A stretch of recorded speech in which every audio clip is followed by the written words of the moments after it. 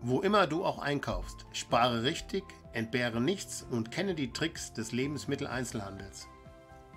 Mit unseren Tipps und Tricks macht dir dein Einkauf wieder Spaß. Garantiert.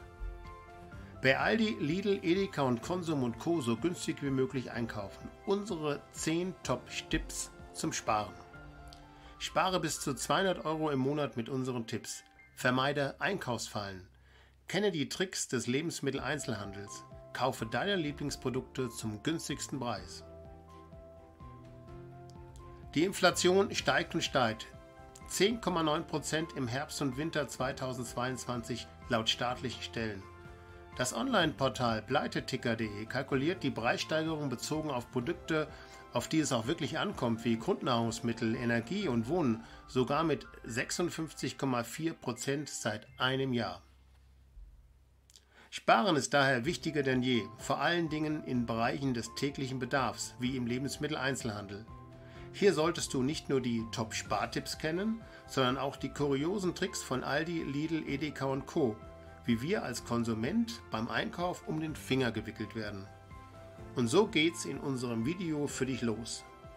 Die Top 10 Spartipps im Schnelldurchblick und dann im Detail vorgestellt. Einkaufsfallen meiden, die Tricks des Lebensmitteleinzelhandels. Schräger Boden, Einkaufsfalle Backshops, gegen den Uhrzeigersinn Einkaufswege, das FIFO-Prinzip und viele andere. Viertens, deine Lieblingsprodukte stets zum besten Preis und Cashback-Geld-Zurück-Funktion. Die Spar-App Smaggle, unser Geheimtipp für dich. Bleib also bis zum Ende dran, es lohnt sich. Unsere Top 10 Spartipps für Aldi, Lidl und Co. helfen dir ganz sicher dabei, deine Kosten für Lebensmittel und Haushalt so günstig wie möglich vorzunehmen und das ohne kompletten Verzicht. Die Top 10 Spartipps jetzt im Schnellüberblick. Erstens. Durchblättere penibel aktuelle Prospekte, Online-Kataloge und Einkaufs-Apps und nutze Gutscheine. Zweitens. Mach dir einen Einkaufszettel. Drittens. Greife bei Großpackungen zu, besonders wenn sie einen Aktionspreis haben. Viertens. Kaufe Eigenmarken statt Markenprodukte. Fünftens. Kaufe nie mit leerem Magen ein. Sechstens. Sei zeitlich flexibel und achte auf Schnäppchenuhrzeiten. Siebtens. Verwende Leitungswasser statt Wasser in Flaschen. Achtens. Nutze Bonusprogramme mit Apps und Bonuskarten. 9. Verwende Bargeld statt Kreditkarten. Und 10. Lunchpaket statt Kantine. Die Spardetails, äh, die Spartipps nun im Detail erklärt. Durchblättere penibel aktuell Prospekte, Online-Kataloge, Einkaufs-Apps und nutze die Gutscheine. Nimm dir vor deinem Einkauf Zeit hierfür, denn gemeinsam mit Tipp 2, dem Einkaufszettel, kannst du so nicht nur alle Sparpotenziale nutzen, sondern vergisst auch keine wichtigen Produkte bei deinem Einkauf. Zweitens, mache dir einen Einkaufszettel. Beim Einkauf ist es besser, mit einem Einkaufszettel in den Supermarkt zu gehen. So kannst du alle Schnäppchen aus den Prospekten, Katalogen und so nutzen und tappst zudem nicht in die Falle, zu viele Dinge zu kaufen, die man gar nicht benötigt. So vermeidest du auch fehlende Artikel für ein Kochrezept, welches du dir eventuell vorgemerkt hast. Planst du im Voraus, was du gerne kochen möchtest und was du dafür benötigst, so sparst du alleine dieses Vorgehen dir in der Regel 50 Euro im Monat. Drittens. Greife bei Großpackungen zu, besonders wenn sie einen Aktionspreis haben. Kaufst du Gemüse, Fleisch oder Süßigkeiten in Großpackungen, so sind diese in der Regel günstiger. Auch wenn du nicht alles davon sofort verarbeitest, lassen sich Lebensmittel oftmals gut äh, portionieren und für einige Monate einfrieren. Auch dieser Tipp spart schnell 50 Euro im Monat. Tipp 4. Kaufe Eigenmarken statt Markenprodukte. Meistens äh, stecken eh Markenanbieter hinter Eigenmarkenlabels der Supermärkte. In der Regel sind Eigenmarken stets deutlich günstiger und bieten mehr Inhalt als teure Markenprodukte und sind oftmals mehr als die Hälfte günstiger, da größere Mengen produziert werden und keine teure Werbung geschaltet werden muss. Dies bestätigt so auch Stiftung Warentest. Weitere 50 Euro Sparpotenzial je Monat sind da ohne echten Verzicht locker drin. Fünftens, kaufe nie mit leerem Magen ein. Mit leerem, hungrigen Magen wirst du mit hoher Wahrscheinlichkeit deutlich mehr einkaufen, als wenn du gut gesättigt in das Lebensmittelgeschäft gehst. Probiere es selbst einmal aus und lerne daraus. Sechstens, sei zeitlich flexibel und achte auf Schnäppchenuhrzeiten. Zahlreiche Supermärkte geben für frisches Obst, Gemüse, Wurst, Käse, Fisch oder Backwaren vor Ladenschluss teilweise bis zu 50% Rabatt. Wenn du die zeitliche Flexibilität hast und dies nutzen kannst, sind weitere 50 Euro im Monat locker gespart. Denke bei solchen Einkaufen auch stets an die Option zum Einfrieren. Siebtens. Verwende Leitungswasser statt Wasser in Flaschen. Unsere Trinkwasser, äh, welches aus der Leitung kommt, hat höchste Trinkwasserqualität. Oftmals ist es sogar besser als Mineralwasser aus Plastikflaschen. Solltest du auf den Sprudeleffekt nicht verzichten wollen, dann lege dir lieber einen sogenannten Wassersprudler einmalig zu. Mit Wasser aus der Leitung schützt du zudem die Umwelt und das lästige schwere Schleppen entfällt. Sehr gute Wassersprudler gibt es übrigens auch auf Amazon. Wir verlinken dir unsere Empfehlung in der Videobeschreibung. Achtens, Bonusprogramm nutzen und mit Apps und Bonuskarten. Neben den Bonusprogrammen wie Payback, Deutschlandcard bei denen du gleich bei mehreren Händlern Bonuspunkte sammeln kannst, hast, hat so gut wie jeder Lebensmitteleinzelhandel sein eigenes Bonus-Sparprogramm, wie zum Beispiel auch Lidl, die äh, Lidl Plus App oder bei Aldi mit seiner Aldi App. Wenn du einen Lieblingseinkaufsladen hast, bei dem du regelmäßig einkaufst, solltest du dir überlegen, dir diese Bonuskarten zu holen und bei jedem Einkauf Bonuspunkte zu sammeln, die du bei einem späteren Einkauf dann einlösen kannst. Bedenke aber, dass alle diese Systeme wahre Datenkraken sind und dein Einkaufsverhalten damit analysiert wird. Es gibt so viele unterschiedliche Bonusprogramme, Karten und Apps, ähm, dass wir sie in diesem Video nicht einzeln vorstellen können. Wir werden diese Bonussysteme in einem extra Video ähm, behandeln und später hier verlinken. Neuntens, verwende Bargeld statt Kreditkarten. So spürst du viel deutlicher, welchen Kaufpreis du bei deinem aktuellen Einkauf gerade bezahlt hast und bist für diesen Einkauf auch kein gläserner Kunde, dessen Einkaufsverhalten man genauestens analysieren kann. Auch die in deinem Portemonnaie befindliche Bargeldhöhe wird dir helfen, auf Impulskäufe zu verzichten. Lunchpaket statt Kantine? Dieser Tipp hat zwar nicht direkt etwas mit einem Einkaufsverhalten im Lebensmittelhandel zu tun, aber spart im Monat viel Geld 2 bis 4 Euro für das leckere eigene Lunchpaket zu Hause vorbereitet, statt 7 bis 12 Euro für ein Essen in Kantine oder Gaststätte? Da summieren sich die 4 bis 6 Euro Differenz je Tag im Monat schnell auf 80 bis 120 Euro, die man monatlich sparen kann.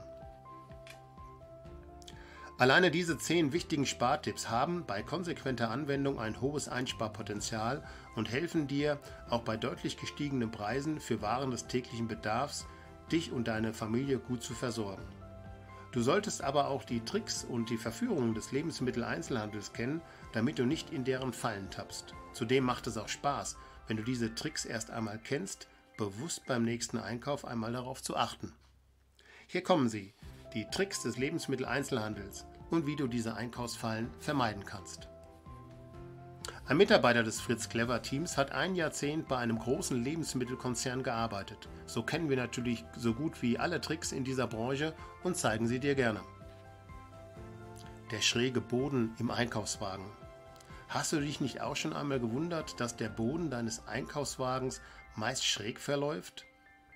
Das haben Aldi, Edeka und Co. bewusst so gemacht, denn ein hineingelegter Artikel rutscht durch das Schieben des Einkaufswagens automatisch nach hinten und verschwindet so aus unserem nach vorne gerichteten Blick. Der Effekt? Wir haben noch nicht so viel eingekauft.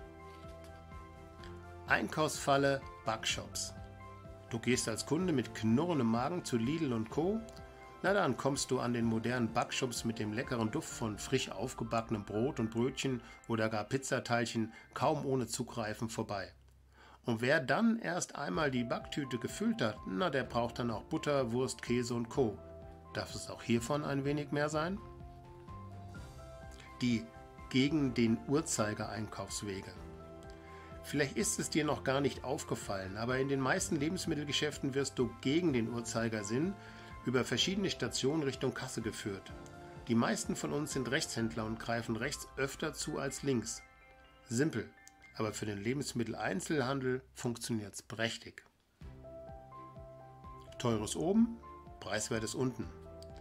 Dieser Trick, den kennt wahrscheinlich äh, jeder. Ähm, für die preisgünstigeren Produkte muss man sich leider bücken, denn die sind unten im Regal eingeräumt, während die teuren Produkte in der Regel direkt auf Griffhöhe positioniert sind. Ansprechendes Ambiente bei Obst und Gemüse und beim Wein- und Spirituosenbereich? Dein Lebensmittelhändler hat gerade renoviert, dann achte einmal, dass in modern eingerichteten Geschäften im Obst- und Gemüsebereich Speziallampen die Frischware optimal anleuchtet. Alles frisch, appetitlich und knackig. Kaum zu Hause angekommen und alle Einkäufe schon ausgeräumt, hm, der Schinken dann doch ein bisschen grau und fahrt der Apfel matt und leicht bräunlich. Dabei sahen die Sachen im Supermarkt doch eben noch so appetitlich, frisch und saftig aus. Und im Wein- und Spirituosenbereich arbeitet man mittlerweile gerne mit Holzoptik, Fußböden und Wänden. Vielleicht auch einmal mit einem aufgestellten alten Weinfass für die Besonderheiten. Ja, raffiniertes Licht strahlt Frische aus und hübsches Ambiente verleitet dazu, mehr Geld auszugeben. Last but not least das FIFO-Prinzip. Achte darauf, dass du möglichst den Artikel deiner Wahl mit dem längsten Mindesthaltbarkeitsdatum kaufst. So wird die Gefahr kleiner, dass du zu Hause Produkte wegwerfen musst, die zeitlich abgelaufen sind. Der Handel nutzt beim Einräumen der Ware stets das sogenannte FIFO-Prinzip, welches für First In, First Out steht und beschreibt, dass die Ware mit dem längsten Mindesthaltbarkeitsdatum stets hinten in das Regal eingeräumt wird und das mit dem kürzesten Mindesthaltbarkeitsdatum folglich vorne steht, also First Out ist, in der Regel auch als erstes entnommen wird. Mach dir dieses Vorgehen bewusst und greife daher bewusst hinten ins Regal, hol die frischere Ware raus, vergleiche das Mindesthaltbarkeitsdatum des Artikels, bevor du ihn in deinen Einkaufswagen legst. Nun kennst du also bereits die 10 wichtigsten Top-Spartipps beim Lebensmitteleinkaufen. Du kennst die wichtigsten Tricks des Lebensmitteleinzelhandels und jetzt haben wir als Dank, dass du bis hierhin das Video geschaut hast, noch einen ganz besonderen Tipp für dich. Deine Lieblingsprodukte stets zum besten Preis. Die Spar-App Smuggle. Unser Geheimtipp für dich. Neben der großen Vielzahl der Bonus-Apps der Lebensmitteleinzelhandel wie PayPal oder Deutschlandcard oder die erwähnte schon Lidl Plus App ähm, gibt es eine App, die es ganz anders macht und noch nicht allzu vielen Menschen bekannt ist, jedoch einen einzigartigen Nutzen hat. Sie zeigt dir, wo deine Lieblingsprodukte gerade am günstigsten im Angebot sind. Wir reden von der App Smaggle, welche du sowohl im Android App Store als auch im App Store von Apple zum Download findest. Wir nutzen diese App selbst bei Fritz Clever und finden, dass es wirklich eine smarte und clevere Lösung ist, die mal anders als die üblichen Apps daherkommt. Sofern man zustimmt, dass die Anwendung auf den eigenen Standort zugreifen kann, kann sie bei einem Einkauf als wahrer Schnäppchenfinder sich erweisen mit Funktionen wie alle aktuellen Sonderangebote finden und Einkaufslisten erstellen, Lieblingsprodukte im Blick halten und Favoriten anlegen, noch mehr sparen mit Cashback-Aktionen, Kassenbon fotografieren und Cashback sichern, Guthaben aus Cashback-Aktionen sich auch in Bar auszahlen lassen. Ein Beispiel. Hm, eines deiner Lieblingsprodukte ist eine spezielle Nuss-Nougat-Creme. Bei mir wäre es zum Beispiel Nutella. Oder eine ganz spezielle Schokolade.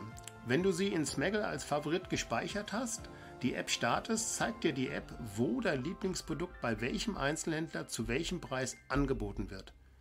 Sortiert der günstigste Anbieter ganz oben. So kaufst du dein Lieblingsprodukt stets zum günstigsten Preis. Und mit der Cashback-Funktion wird dir sogar Guthaben, welches du dir bei Einkäufen erspart hast, auf Wunsch sogar in Euro ausgezahlt. Nicht, dass du jetzt denkst, dass wir in dieser ähm, Information zu Smaggle etwas verdienen. Nein, wir haben hier keinerlei finanzielle Vorteile, wenn wir dir diese App hier kurz vorstellen. Wir tun dies, da wir wirklich sie clever und smart finden. Und dir noch ein extra Bonbon als Dankeschön geben möchten, dass du dir unser Video hier bis zum Ende hm, angeschaut hast. Wir würden uns natürlich jetzt über ein Like von dir sehr freuen und natürlich auch sehr gerne äh, wenn du dein Abo dalässt, damit du künftig keines mehr unserer informativen Videos äh, mehr verpasst. Bei welchen Einzelhändlern und Supermärkten erledigst du deine täglichen oder wöchentlichen Einkäufe? Und auf welcher Sparmöglichkeit achtest du hierbei besonders? Lass es uns wissen und schreib es uns kurz in die Kommentare. Auch sehr gerne, wenn du weitere Spartipps kennst, welche wir hier nicht aufgelistet haben. So hilfst du uns, das Video bekannter zu machen und auch deinen Mitmenschen noch mehr zu sparen. Ganz herzlichen Dank, dein Fritz.